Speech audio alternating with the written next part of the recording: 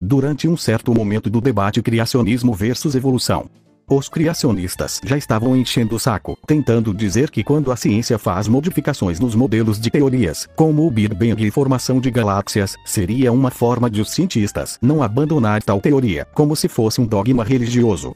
O que eles não devem saber é que a ciência é justamente para não permitir que algo seja um dogma, mas sim sempre atualizada com novos dados.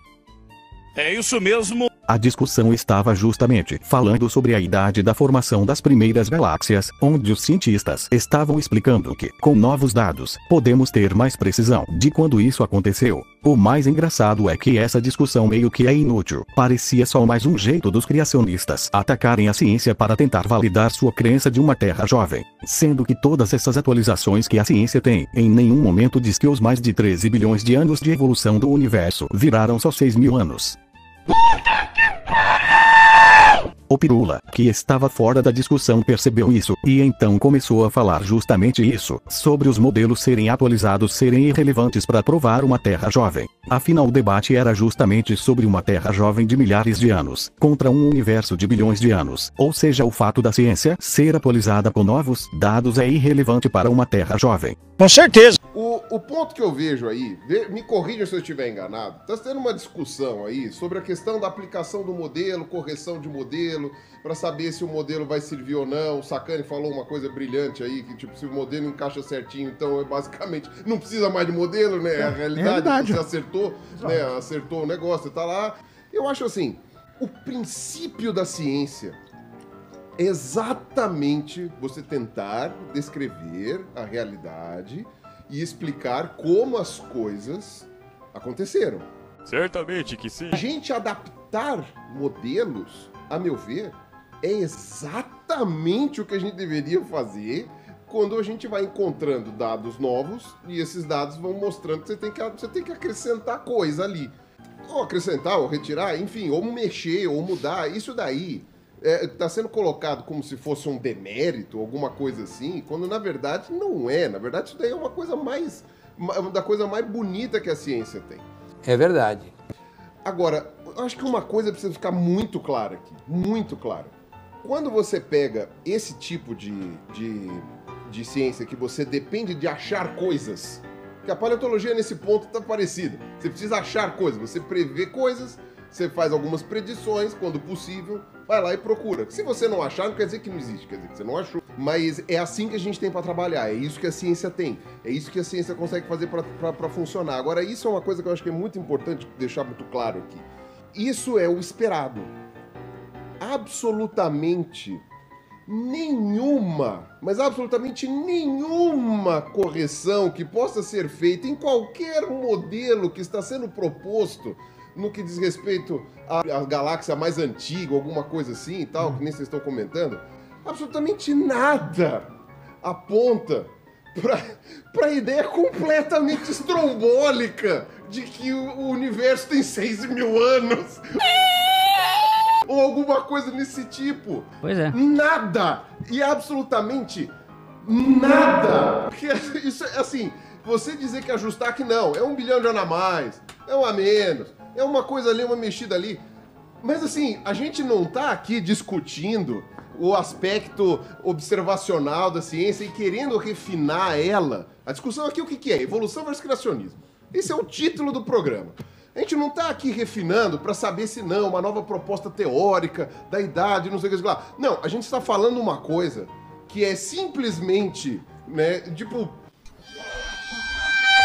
impossível dentro de uma avaliação científica como a gente conhece.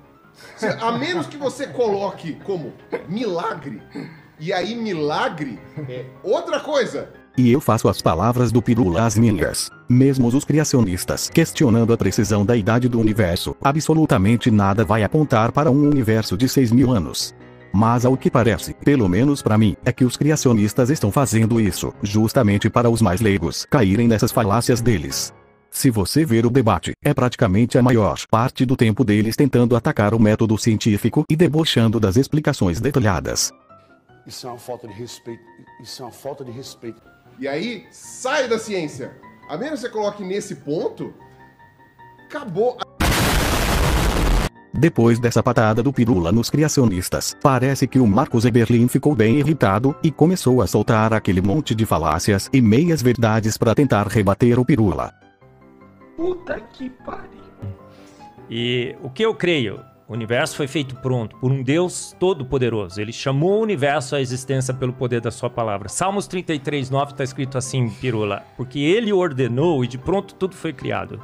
Tudo bem, Marcos, ninguém tá questionando o que você crê na Bíblia, você pode acreditar no que quiser, isso é irrelevante para o debate.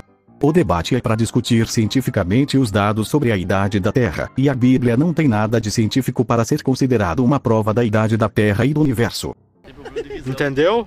Salmos 33, 6 está assim, porque ele soprou o universo com o sopro de sua boca. Você vê na cronologia da Bíblia, você vê que o universo foi formado há 6 mil anos. Nada prova o universo, absolutamente nada prova que o universo é jovem. O universo estava estruturado no seu início, o Adalto falou aqui, as galáxias estavam prontas, massivas, estruturadas. E pelo amor de Deus, muda o disco Eberlin, já cansamos de mostrar aqui que as galáxias não estão estruturadas, sua morfologia é totalmente diferente de galáxias atuais, sua metalicidade é extremamente baixa. Então não, até agora não existe nada que prove uma Terra jovem. E você continuar citando a Bíblia não vai provar nada. Aceita que dói menos. A gente sabe que pela, pela entropia, esse, esse universo estaria envelhecido, absolutamente envelhecido agora. Eu sinceramente queria muito ver esse artigo científico que diz isso, mas eu duvido que você tenha, afinal, você não mostrou nem sequer um artigo dizendo que a Terra tem 6 mil anos e que o T-Rex era vegano. Então você vai falar aí, ó, uma bravata dessa, olha, nada, nada, nada, nada, absolutamente nada, nada, nada. Que que é isso, Pirula? Olha, deixa, deixa eu terminar, deixa eu não, eu, não- eu não interrompi você, não interrompi você. É engraçado ele dizer isso, sendo que depois disso ele ficou o debate todo, interrompendo a explicação dos cientistas. A gente tá Olha, fazendo o que então aqui? absolutamente, nós temos evidências claras que o claro. universo no início estava pronto, estruturado, muito parecido com o universo agora. Beleza? Mostra aí o artigo científico que diz isso então. Agora deu caralho mesmo, viu? E há uma evidência muito forte de que esse universo é jovem, porque senão ele estaria desgastado. Foda, foda, velho. Milagres, milagres é o que o Big Bang assume. O milagre do nada pegando nada e bum, se Big Bang explodindo. não diz isso. Segundo, Nessa hora até o Felipe Rime entra no meio, porque é verdade, o Big Bang nunca disse que o universo veio do nada. Mas o Eberlin adora uma falácia do espantalho para argumentar. há o milagre do sumiço da antimatéria. O milagre dos elementos mais pesados estarem presentes no universo. Só faltou explicar que a metalicidade é baixa, exatamente como um modelo prevê. O milagre da matéria escura que ninguém sabe, um saci perereio da ciência que diz que não tem nem partícula fundamental para explicar, tanto, vários testes que estão sendo feitos, é a matéria escura que está fazendo com que essa nuvem gasosa se eh, colapse. Aqui ele mistura um monte de coisa sem relação para parecer que tá sendo genial, mas como sempre, não tá falando nada com nada. Então, milagres, milagres, a gente tem um. eu a gente acho- tem um. eu acho que E um tem- milagre, peraí, Ah, Verula. vai. E um milagre com santo suficiente, com poder para fazê-lo. Você não- você tá assumindo um monte de milagres que as forças naturais não têm pro- não têm força, não têm capacidade de fazê-lo. Uma coisa é que o Eberlin parece que não entende, é que a ciência não tem explicação para tudo, diferente da pseudociência que ele apoia que é só colocar Deus no meio que tá tudo resolvido. Nós não temos todas as respostas agora, não quer dizer que nunca vamos encontrar. E mesmo sem todas essas respostas, temos pelo menos evidências o suficiente para descartar a ideia de uma Terra jovem de 6 mil anos. Reparem que mesmo com todas essas falácias que ele fala, nada prova uma Terra jovem.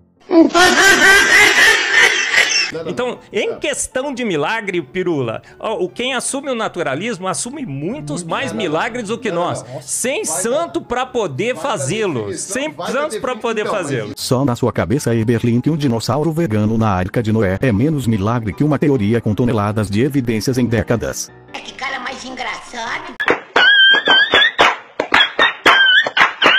o universo ter sido criado pronto, ele tem que romper uma série de evidências que a gente tem tão grande, mas tão gigantesca. É. E aí eu acho que o Felipe, já que o ponto de. de, de, de, de- Dá um exemplo Isso- dessa. isso eu falei dá um exemplo. Você você disse fala- que você tem várias Várias evidências evidências. Fala gigantescas. Quais É. seriam? Você tem várias, cita tem uma. mais de 6 mil Não, anos. que ele não, Não, poderia não, ser que ele- pronto. o- Que ele não foi formado pronto. Qual é a evidência? Ah, não, não, não. Radiação Tá cósmica de fundo. idade. E Pirula, travou, hein, cósmica, Pirula? Não pode ter seis O Pirula mil travou, anos. vamos lá. E vejam o mau caratismo do Eberlin. O Pirula deixou claro que astronomia não é a área dele. E mesmo assim o Eberlin fica fazendo perguntas de astronomia pra ele, ao invés do Felipe e do Zakami que está na frente dele. Mas vocês Você estão perguntando uma coisa de cosmologia pra um biólogo, não Meu Deus do céu! Vocês estão perguntando cosmologia deixa pra um biólogo. Como vocês viram, os caras são muito desonestos, se não tiver um monte de falácias e deboche, não funciona pra eles. E é isso que veremos ainda mais nos próximos vídeos.